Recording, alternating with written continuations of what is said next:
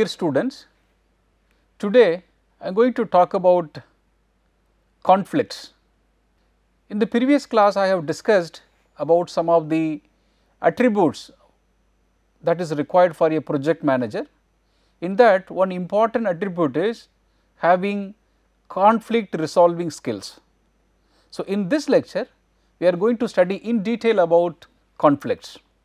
Remember the last class I discussed about managing for stakeholders. This class we are going to discuss about resolving conflicts that is very important skill required for a project manager.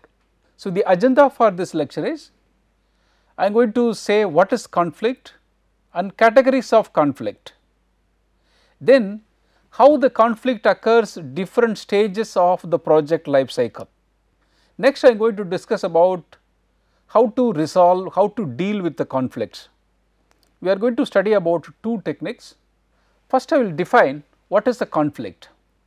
The process which begins when one party perceives that other has frustrated some concerns of his. That is the definition of conflict. Our concern is goal conflict that occur when a group pursues goals different from other groups. There are two groups, but the goal is common, but the two groups perceive that goals in different perspective that lead to conflict. So, to resolve that conflict we need to have the skill called negotiation. The skills required to resolve most conflict is called negotiation. Now, we will discuss about categories of conflict. There are three sources we can say categories and sources of conflict. The first source is different goals and expectations, same group, but they have different goals and different expectation that lead to conflict. The second source for the conflict is uncertainty about authority, whether this work should be done by person X or person Y. So, that is the uncertainty about authority. So, that leads to conflict.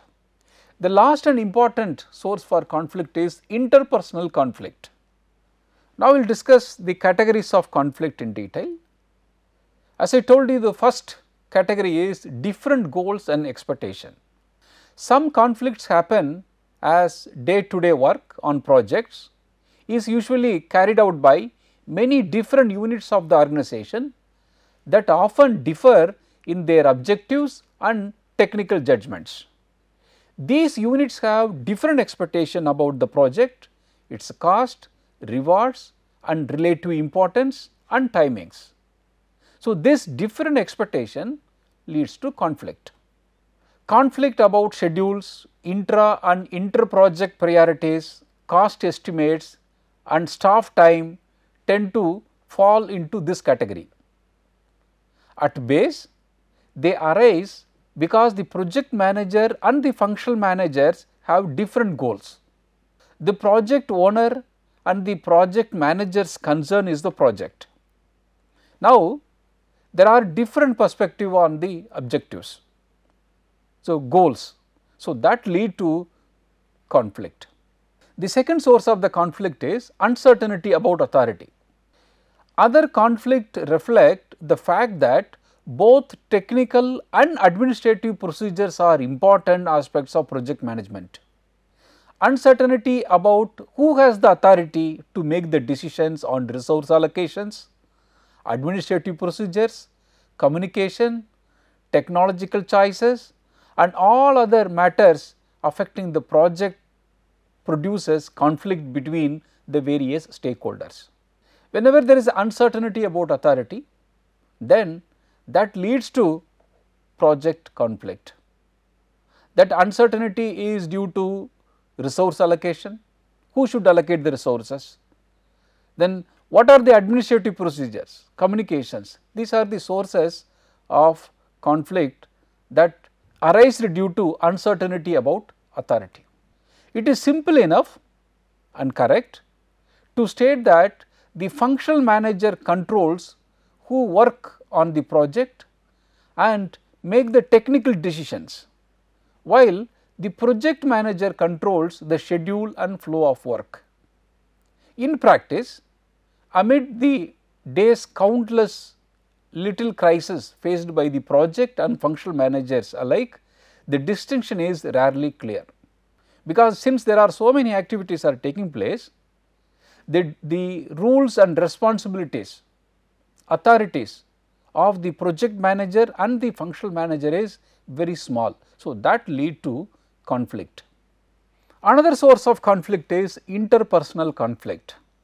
While cooperating with many persons, it seems inevitable that the some personalities will clash.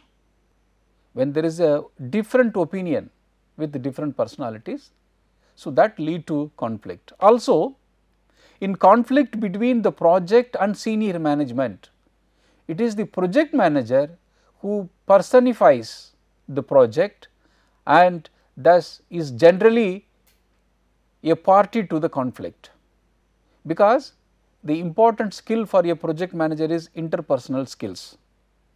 If there is a good interpersonal skills then this conflict can be that is interpersonal conflict can be minimized. Now, we will see that project conflicts by category and stakeholders. You see there are different stakeholders, one is project team. So, project team they may have conflicts on with respect to goals, they can have conflicts on schedules and priorities. Then about authority, there may be a technical issues that may lead to conflicts. So, the project team members there may be different people have different personal feelings. So, that lead to personality. So, that is the interpersonal conflict. Then the functional and senior management, they may have conflicts due to schedule and priorities. So, that conflicts are comes under category, category of goals related conflicts. Then the functional senior management may have conflict on technical and administrative responsibilities. So, that comes under category of authority related conflicts.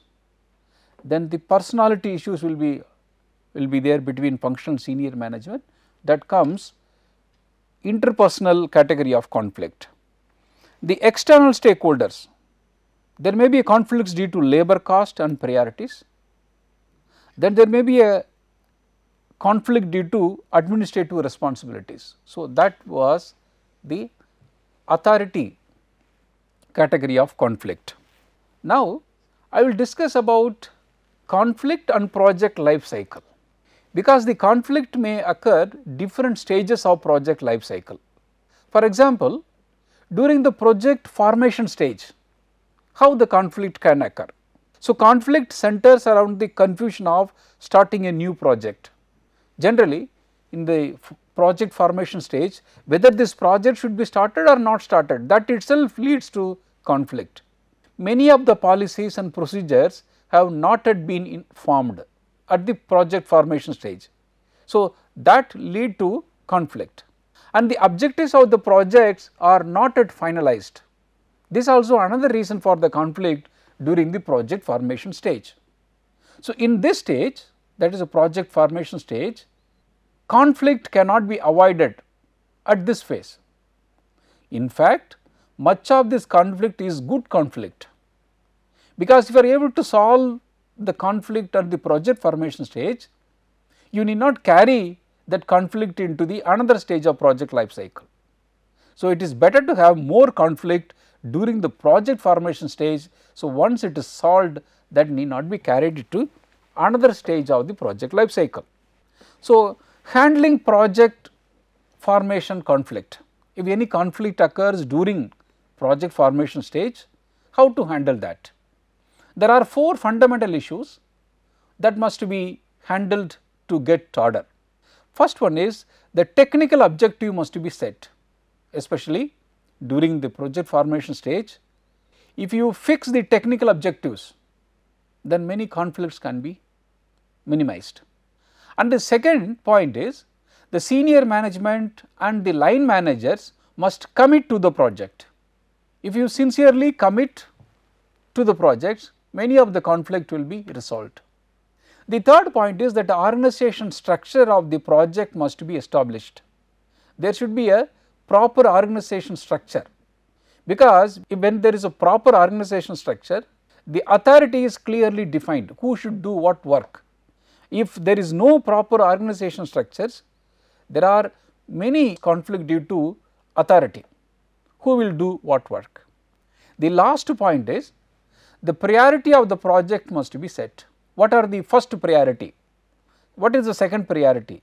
That has to be set. So, that will reduce lot of conflict during the project formation stage. Now, we will discuss the conflicts during project build up stage. In this stage, conflict tend to be technical in nature. Conflict between the project manager and the functional areas tend to predominate. Now, we will discuss about the conflict during the main program of the project life cycle. Here schedules are a major source of conflict during the main stage of the project or program. The schedule is the main source for the conflict because many time it because there is a very crucial during this time to meet the schedule. Some task will be late and the schedule should be adjusted or the time should be made up. The more complex the project, the more difficult it is to trace the source of conflict during the main program stage. There are also technical conflicts during the main stage of the project or program. The next point is conflict during the project phase out last stage. So, in this stage the conflicts are mainly due to deadlines. So, deadlines are a major source of conflict. Another point is that technical problems are rare because your project is almost to complete. Personality conflicts will be a big deal due to time pressure. So far we have discussed about what are the sources of conflict in different stages of project life cycle.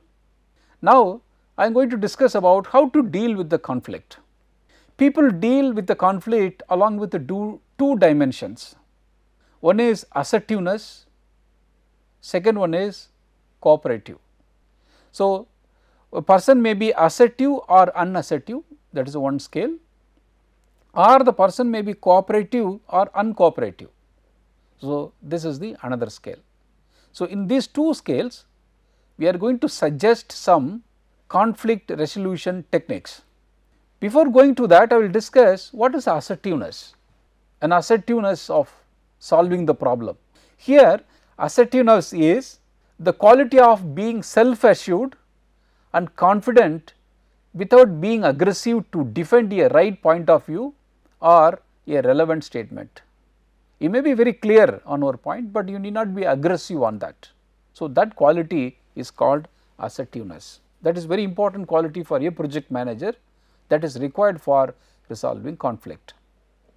Now, look at there are 5 strategies for resolving conflict. So, in the horizontal axis I have taken cooperative on the extreme right side and uncooperative. In the vertical axis assertiveness at the top and the unassertiveness at the bottom. There are 5 strategies one is uh, competing is one strategy, then avoiding is another strategy, accommodating is another strategy, collaborating is another strategy and compromising is another strategy. Now, we will discuss about these strategies in detail. First one is competing when to compete with other person. When there is a conflict, whether we really have to compete with that person or that issues. So, look at the figure approaching a situation assertively and being willing to cooperate is referred to as competing strategy. So, this strategy. So, competing is a person is uncooperative at the same time is assertive. Look at the figure approaching a situation assertively and being unwilling to cooperate is referred to as competing strategy. Is very stubborn on cooperation, is not willing to cooperate. So, with that fellow we have to compete. When a competing strategy is employed, the person views the situation as though someone must lose for the other to win or in this case I win you lose that is a win lose strategy. Competing strategy is win lose. One person is winning in that process other person will lose. We call it is zero sum game in game theory. So, this competing strategy may be appropriate when the decision must be made quickly. The second strategy is avoiding the strategy. The person is uncooperative, but unassertive. So, alternatively when the position is not asserted aggressively, but the person is still unwilling to cooperate, we have a conflict avoiding strategy. So, we have to avoid that conflict because he is not assertive also and he is not cooperative also. There will not be any harm for you. So, we can avoid that conflict. This is a loss loss strategy because you are not cooperating with the other person to help them achieve their goal nor you are actively pursuing your own goals. This strategy might be applied when the issue is not that important to you or you deem the detrimental effect of the conflict outweigh the benefit of the resolving the issue in a desirable way. The next strategy is collaborating this stage. A person is cooperative and is assertive. When you assertively state your position, but do so in a spirit of cooperation, you are employing collaborating strategy.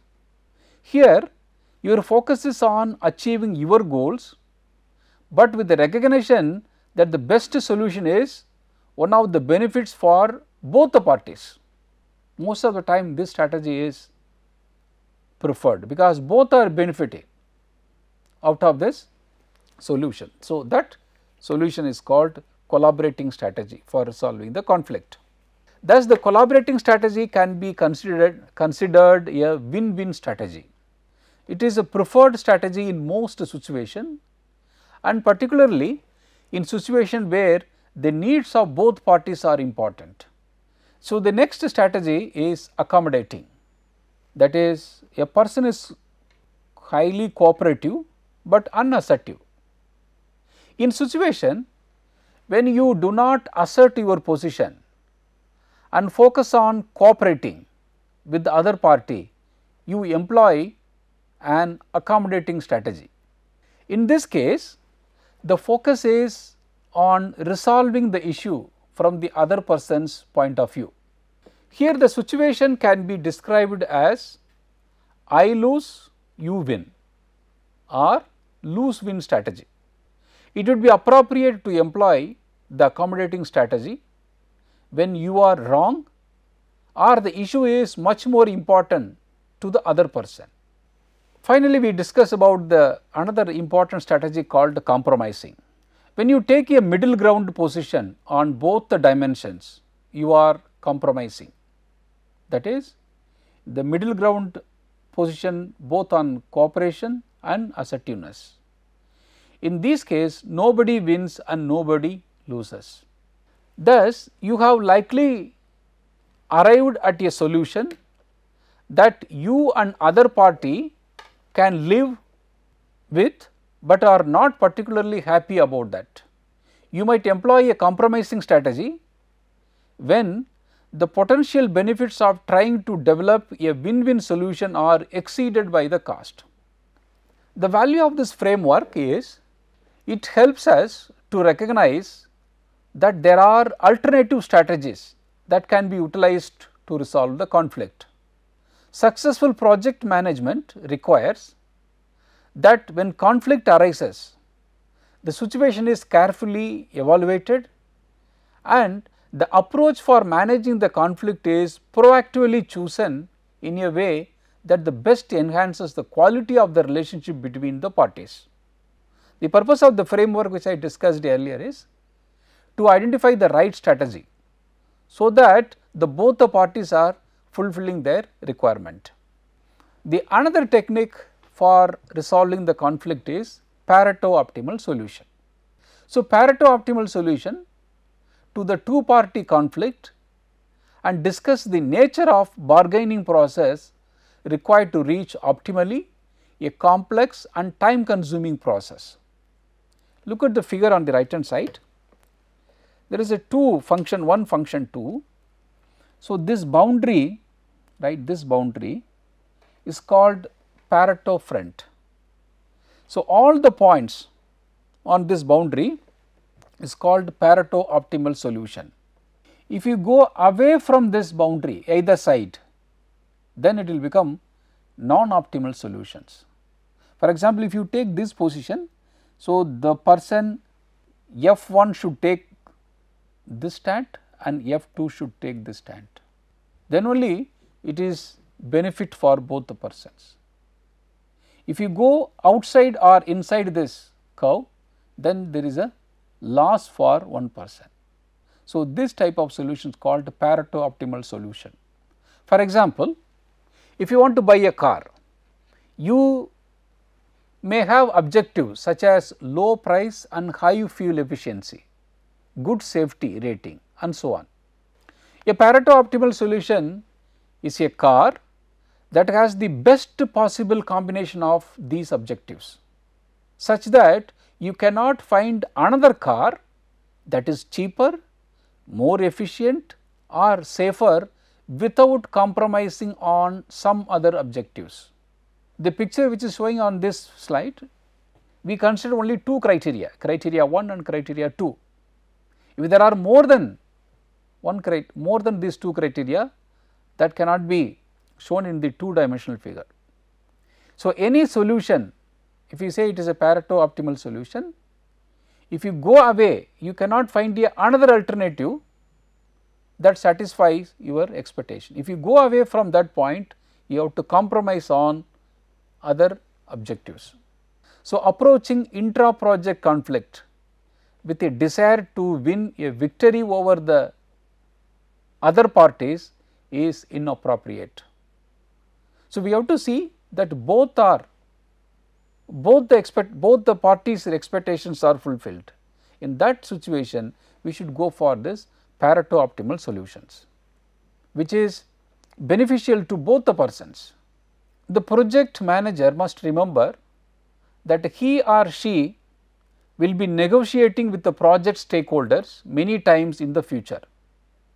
If he or she conduct a win-lose negotiation and the other party loses from then on, he or she will face a determined adversary who seeks to defeat him or her. This is not helpful. So, always we should prefer win-win negotiation. If you go for win-lose negotiation, because you are you are going to spend a lot of time with that other parties. So, that will give you a very bad effect in future. That is why always it is recommended do not go for win lose negotiation, you should prefer win win negotiation because you have to travel along with the other parties. In this lecture I have discussed about the conflict and different categories of conflict that is the sources of the conflict.